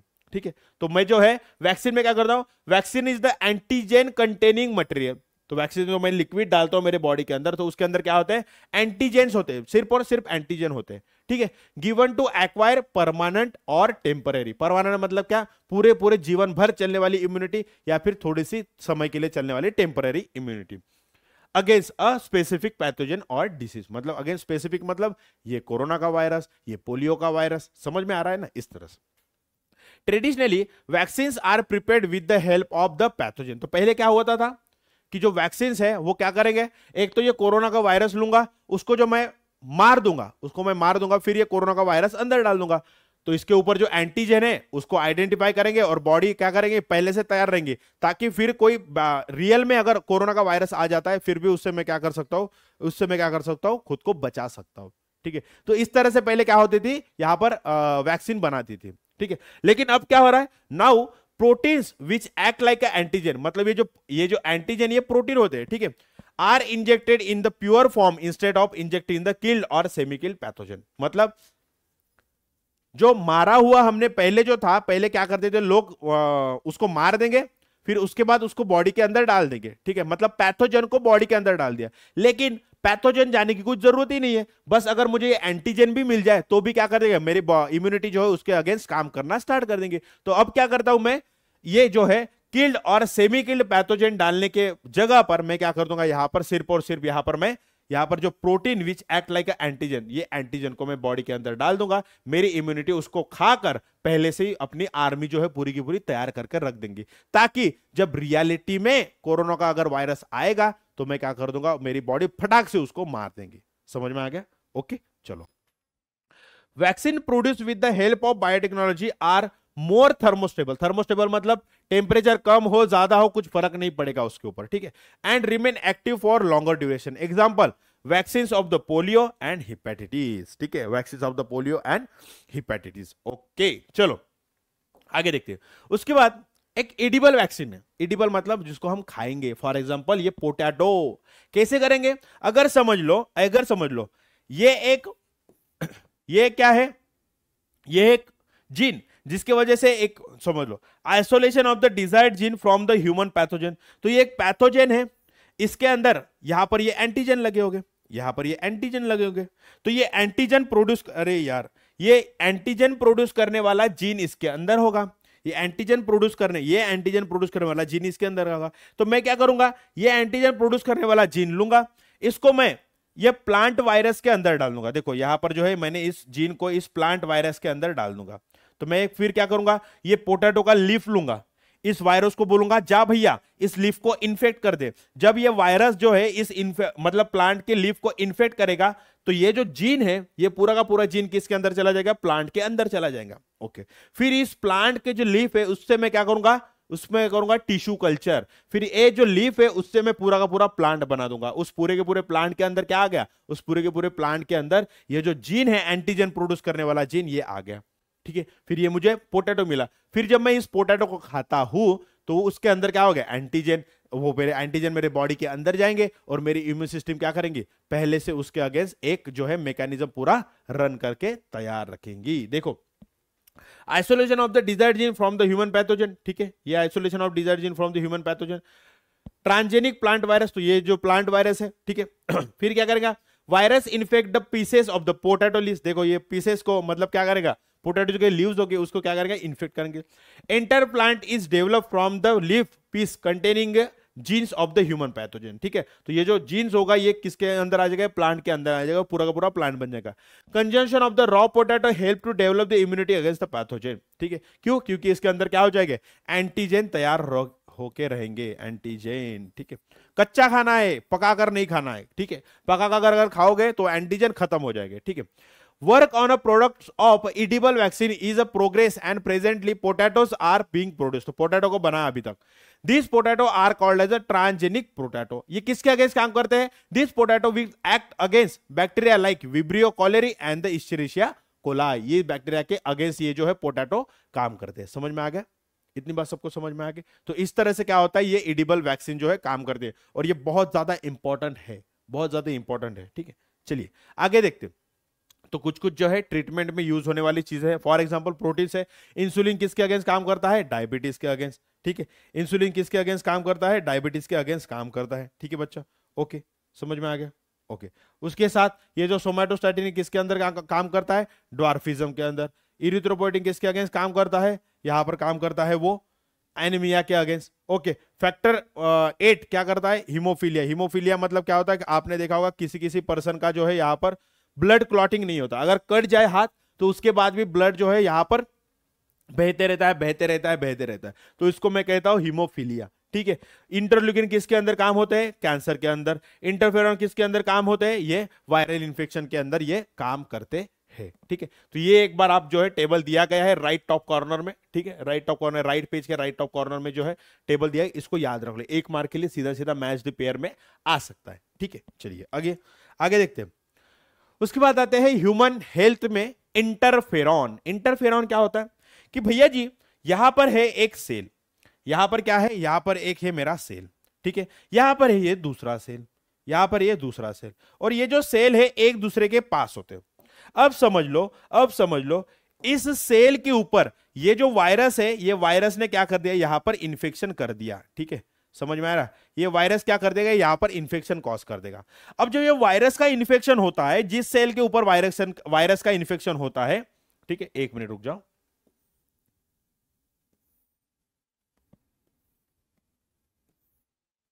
ओके, अब देखो, अब क्या हो रहा है? ध्यान देना ध्यान देना ध्यान देना ध्यान देना। सब लोग यहाँ पर ध्यान देना, ठीक है। अब ये एक सेल है इस सेल के ऊपर इस वायरस वायरस का क्या हो गया? इन्फेक्शन हो गया। जैसे ही इस वायरस का इन्फेक्शन इस सेल के ऊपर आता है, ये सेल क्या करने लगता है? ये सेल जो है, यहाँ पर जो है कुछ कुछ प्रोटीन तैयार करने लगता है। यहाँ पर ऐसे ऐसे एज सच कुछ प्रोटीन तैयार करने लगता है, ठीक है?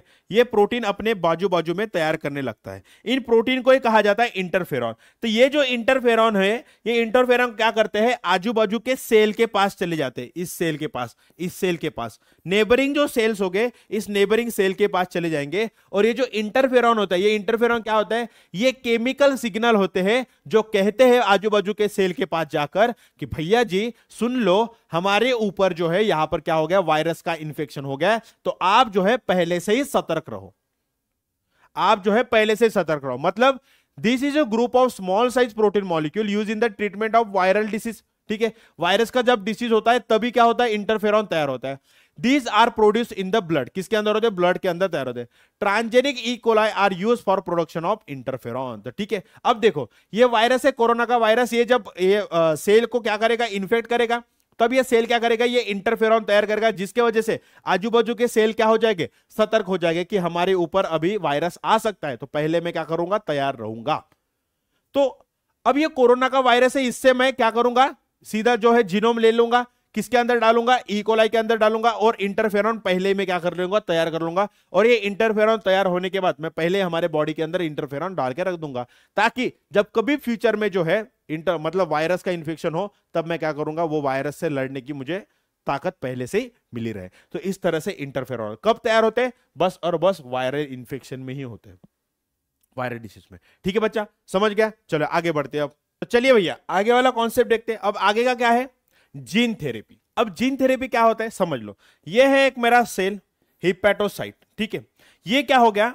ये देखो एग्जांपल है phenylketonuria arise due to the genetic changes in the hepatocyte तो यहाँ पर पहले जीन था। इस सेल के अंदर यहाँ पर पहले क्या था? जीन था। लेकिन इस जीन के अंदर कुछ तो भी गड़बड़ी आ गई, जिसकी वजह से क्या होगा? ये हमारा लीवर का सेल है। ये कौन सा है? लीवर सेल लीवर सेल जिसको कहा जाता है हिपेटोसाइट ठीक है? जिसको कहा जाता है हिपेटोसाइट अब ये पहले नॉर्मल सेल था, लेकिन इसके अंदर जीन के अंदर कुछ तो भी गड़बड़ी हो गई, जिसकी वजह से क्या हो गया, मुझे फिनाइल किटोनीरिया हो गया, ठीक है? फिनाइल किटोनीरिया क्या होता है, वो अभी नहीं पढ़ेंगे, ठीक है?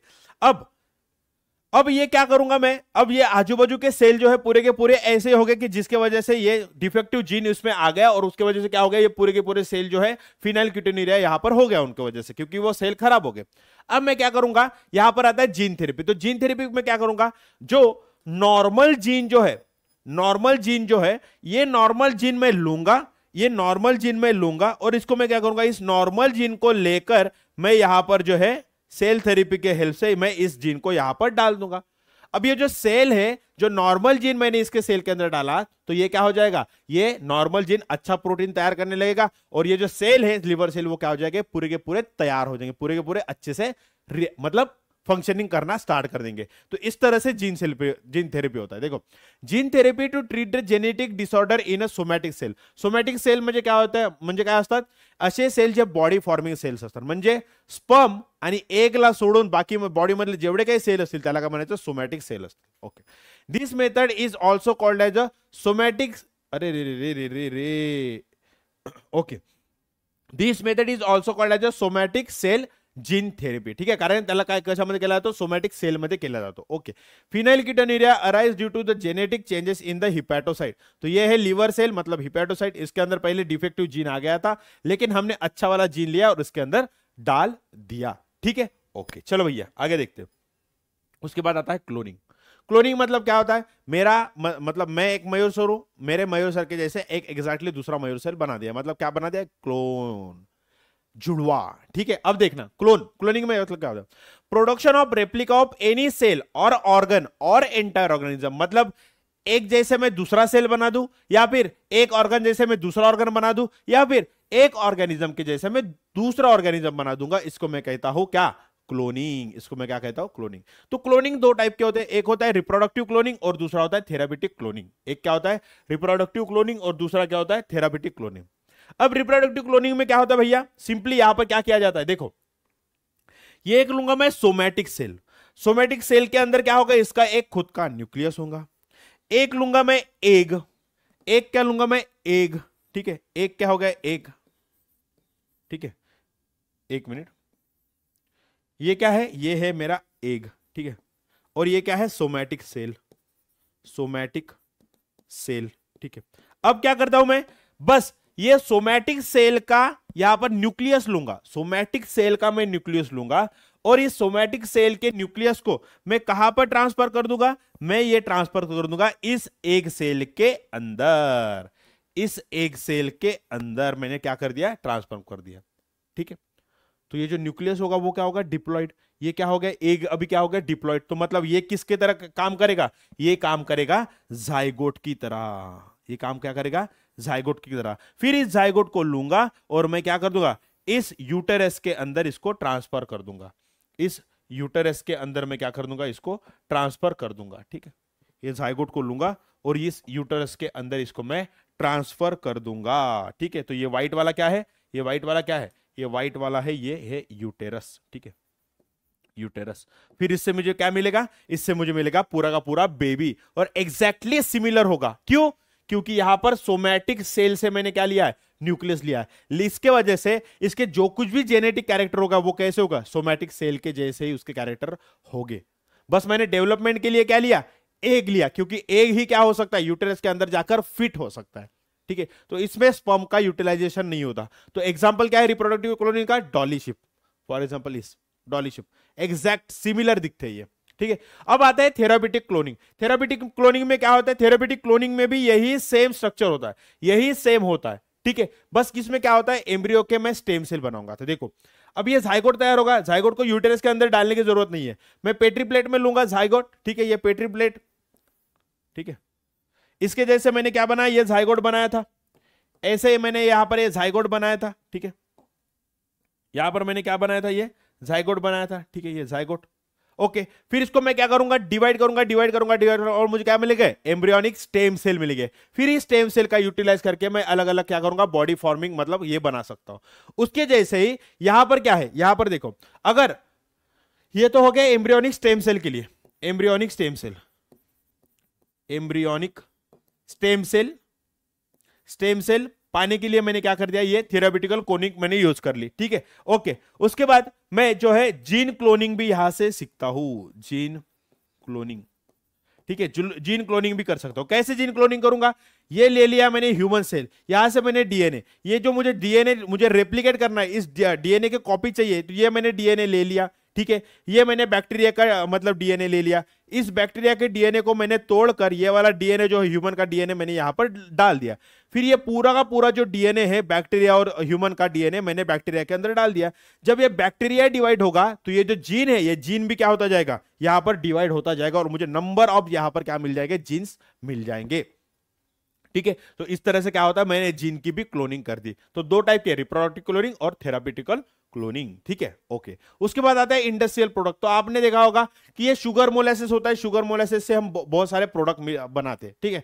Various industrial chemicals can be produced through the less expensive process example alcohol produced from the sugar molasses with the transgenic yeast ठीक है तो ये ट्रांजेनिक ईस्ट जो होता है जिसको हम ब्रीवर्स ईस्ट भी कहते हैं इसके हेल्प से हमने शुगर मोलासिस से हमने क्या बना दिया यहाँ पर अल्कोहल बनाते हैं ठीक है बच्चा ओके चलिए अब आते हैं environment and biotechnology microbes are very useful to clean the pollutant from the environment like treatment of the sewage and the solid waste. तो हमने सेवंथ चैप्टर में जो दिखा था कि बहुत सारे माइक्रोब्स किस तरह से पोल्यूशन कंट्रोल में यूजफुल होते हैं।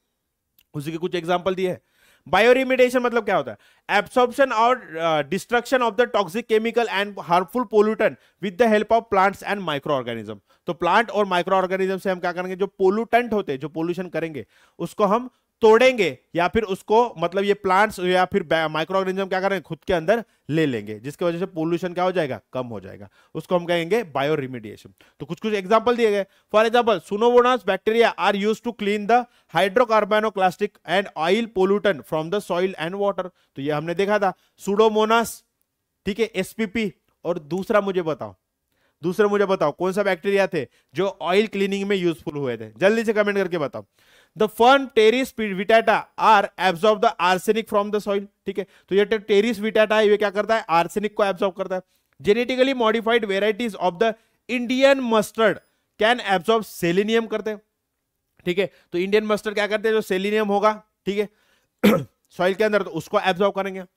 Sunflower can absorb uranium and arsenic तो यूरेनियम जो हमारा रेडियो एक्टिव मटेरियल है, उसको एब्जॉर्ब करने का काम कौन करेगा? Sunflower the bacterium Deinococcus radiodurans is highly radiation resistance organism it has been genetically modified and use to absorb radiation from the radioactive debris ठीक है? तो जहाँ पर रेडिएशन होता है बहुत ज़्यादा तो उसको एब्जॉर्ब करने के लिए, उसको कम करने के लिए पूरा का पूरा कौन एब्जॉर्ब कर सकता है उसको? बैक्टीरियम रेडियोडोरम्स सॉरी डायनोकोकस रेडियोडोरम्स ये उसको वहाँ पर क्या कर सकते हैं? एब्जॉर्व कर सकते हैं, ठीक है? उसके बाद ग्रासेस लाइक अल्फ़ा अल्फ़ा क्लोवर एंड द री are use in phytoremediation phyto मतलब क्या होता है? जहाँ पर रेमिडिएशन तो पता है? रेमिडिएशन मतलब क्या होता है? ये पोल्यूटन एब्जॉर्ब करना। जहाँ पर प्लांट यूज़ होंगे तो उसको मैं क्या कहूँगा? फाइटो रेमिडिएशन ठीक है? तो ये आपको बुक में दिया गया चलिए, उसके बाद आया है DNA fingerprinting DNA fingerprinting में क्या होता है?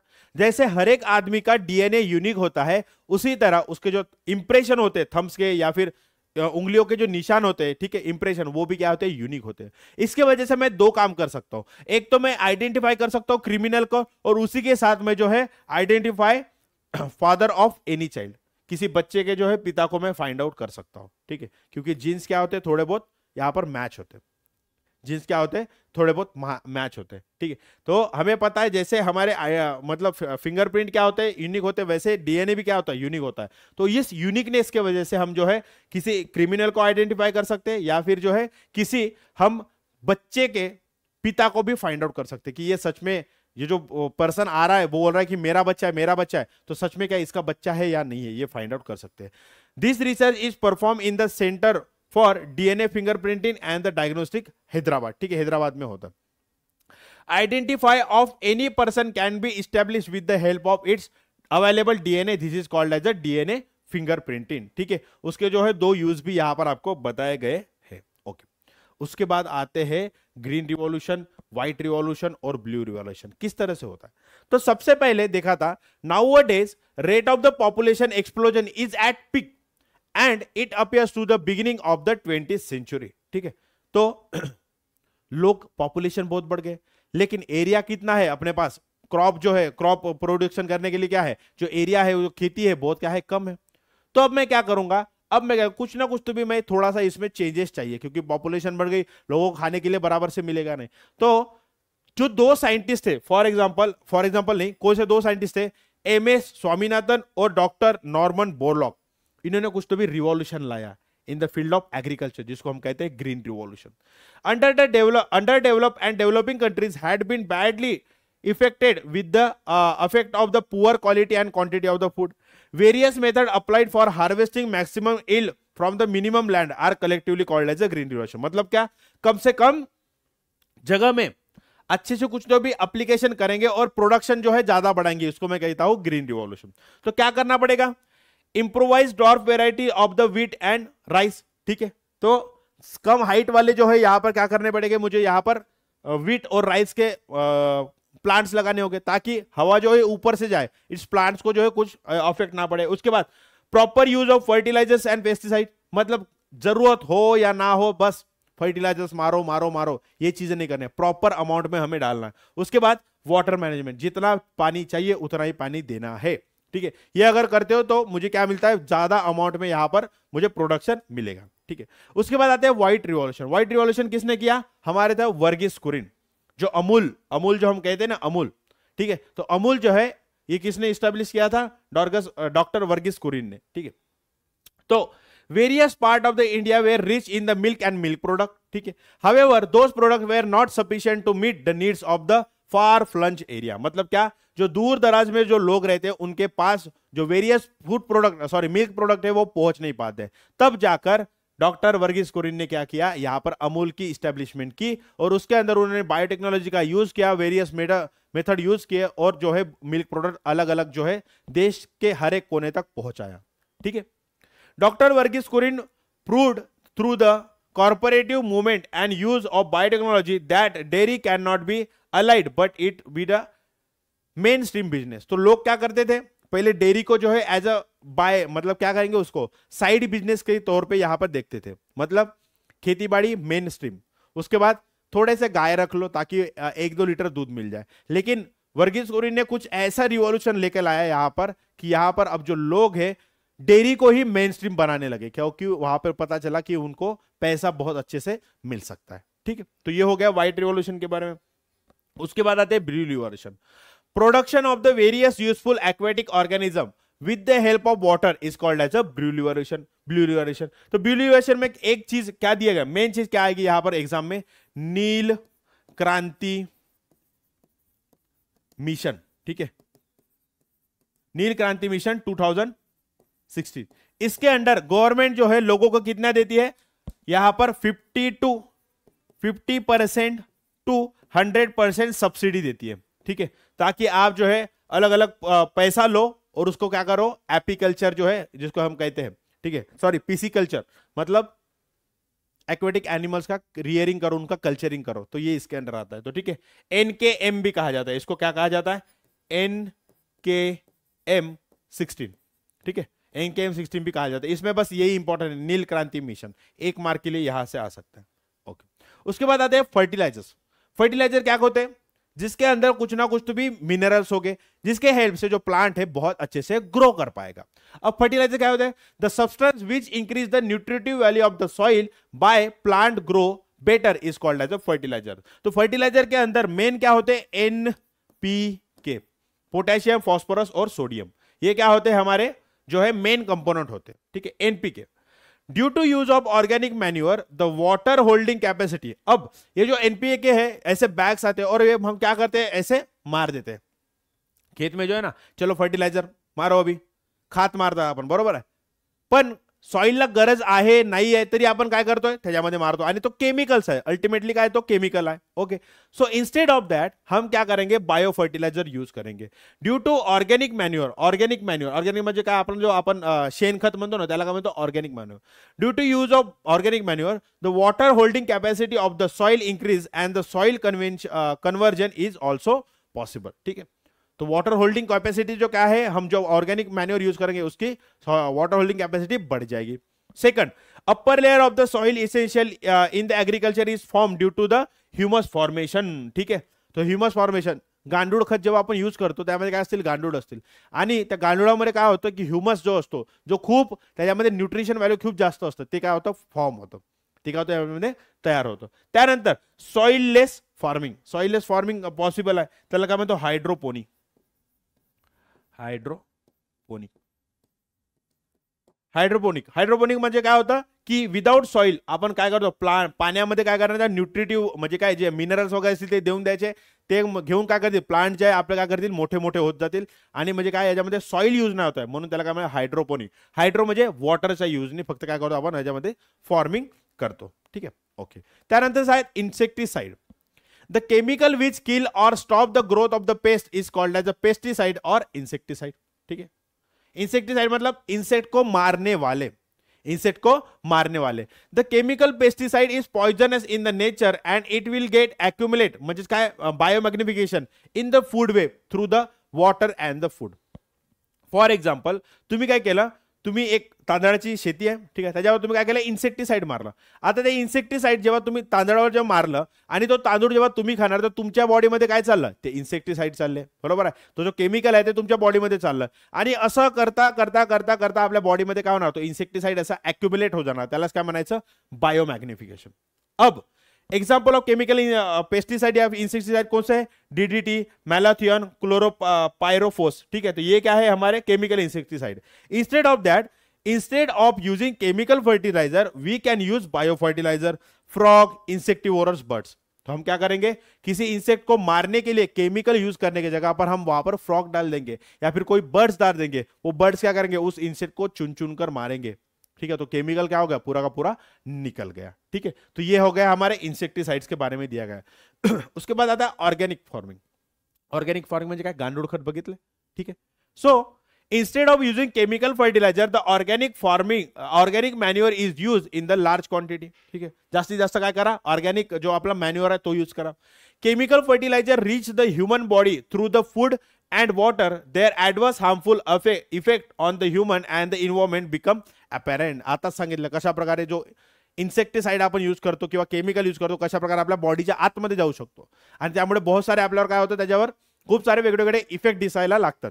तर ते करण्याच्या जागी मी काय करणार? ऑर्गॅनिक फार्मिंग करणार. आणि म्हणजे ऑर्गॅनिक फार्मिंग म्हणजे ऑर्गॅनिक मॅन्युअर मी यूज करणार. फॉर एक्झाम्पल गांडूळ खत.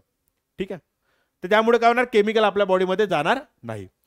Inorganic farming includes in organic farming includes complete ban on chemical fertilizers and pesticide and use of local sturdy variety and thereby maintaining a natural balance local sturdy variety म्हणजे काय? जे नेचरमध्ये originally भेटतात. ठीक आहे जे नेचरमध्ये टवा जसे for example टमाटर जे आहे त्यांची size खूप छोटी आहे.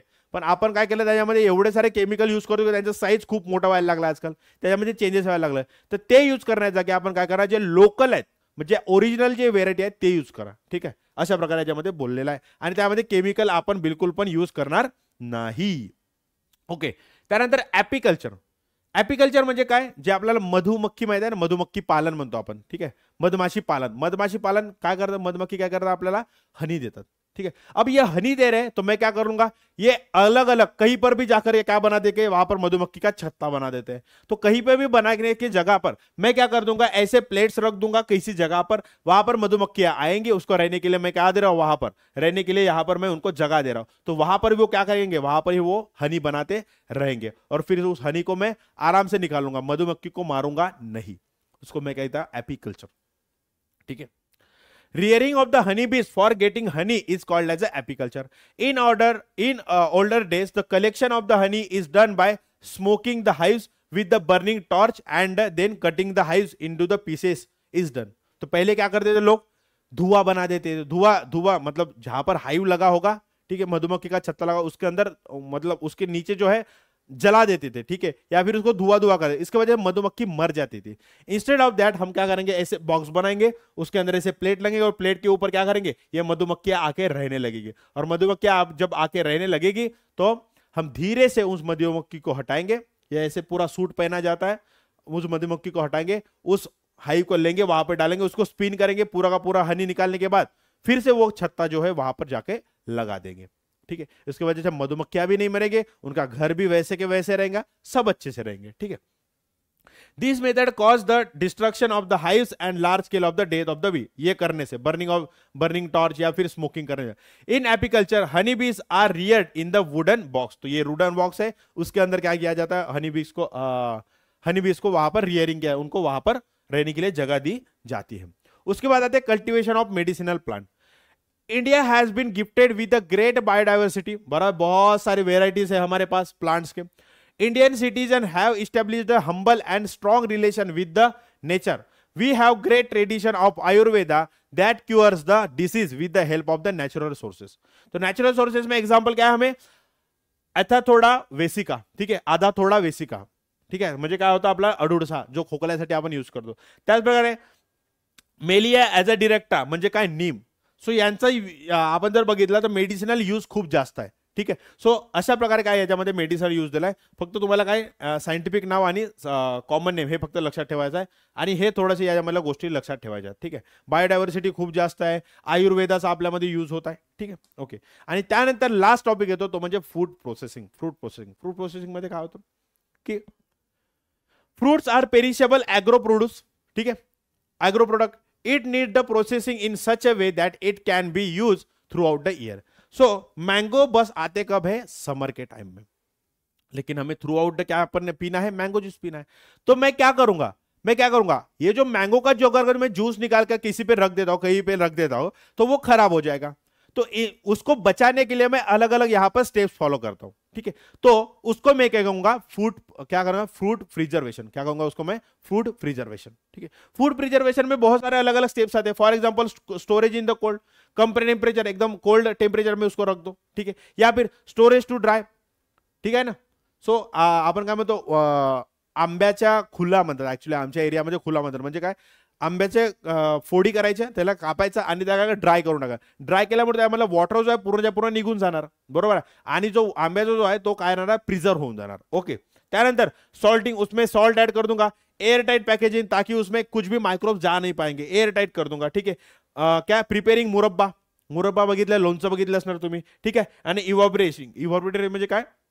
त्यामधला पूर्णच्या पूर्ण वॉटर मी काढून घेणार फ़ूड प्रोडक्ट मधला. जेणेकरून फूडमध्ये कुठल्याच प्रकारचे बॅक्टेरिया किंवा वायरस इन्फेक्शन नहीं पाहिजे. ठीक है सो so, इस तरह से बच्चा लोग हमने जो है यहाँ पर पूरा का पूरा जो चैप्टर है मैंने ट्राई किया कि शॉर्ट वे में अच्छे से समझा दूँ। अगर कोई भी दिक्कत है तो कमेंट सेक्शन में पूछ लो मैं आपको पूरा का पूरा एक्सप्लेन कर दूँगा। ठीक है? तब तक तो के लिए नमस्कार मंडली धन्यवाद।